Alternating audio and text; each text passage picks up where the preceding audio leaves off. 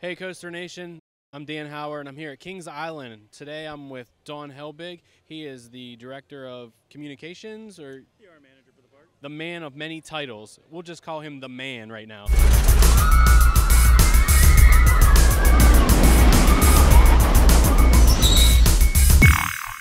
So, for a guest that's never been to Kings Island before, what are your top three picks that they should see or do while they're visiting the park?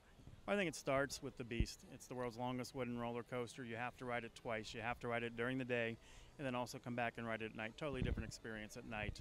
Uh, number two, I would take advantage of the different deals that are available online on our website. You're going to substantially save money if you buy your tickets in advance online.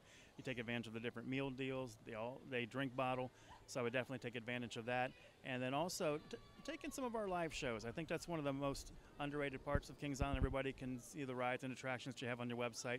But our shows are pretty spectacular too, especially Origins. It's a Cirque Experience show in the Kings Island Theater.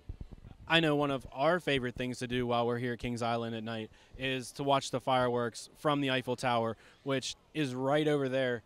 You really do get a spectacular 360 view of the entire park. So, over the years, I noticed there's a lot of uh, elements and theming elements within the coasters and around the coasters, such as flight deck, the big giant jet, and things of that nature. What happens to those elements, you know, when they're gone? Where, what do you do with them?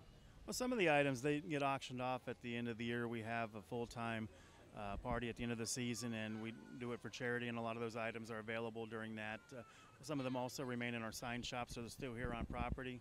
And then sometimes we have them elsewhere in the park. We have a thing it's called the Boneyard, which has a lot of old, old memorabilia back there from the different rides and attractions that have been here through the years. So for the most part, it stays here or it gets auctioned off.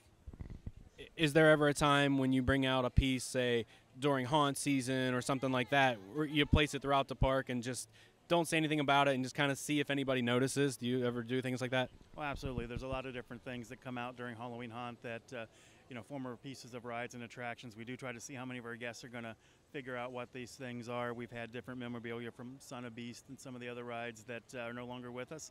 And it's fun for our guests, too, because it brings back a lot of memories when they see these pieces. So all the enthusiasts out there are all asking about the new coaster next year. What's the name of this coaster going to be, and where's it going to be located? Well, that's kind of a little bit of an off the wall question, I think. But, uh, you know, I think everybody goes through Rivertown. They see that there's a wall up, and, you know, the speculation runs rampant. But, uh, you know, it wouldn't be a bad idea to keep following us on Facebook, Twitter, and Instagram, and, uh, you know, maybe see what we're doing a little later on this summer. Yeah, the wall that our guests see in Rivertown, you know, when we removed the funnel cake, opened up a lot of space right there. So uh, it's keeping all of our guests on this side of the park so they're not walking out onto the train tracks or underneath Race for Your Life, Charlie Brown. For more information about Kings Island, visit our website, visitkingsisland.com. This video is brought to you by Design by Alley. For all your graphics, web design, and photography needs, go to designbyalley.com.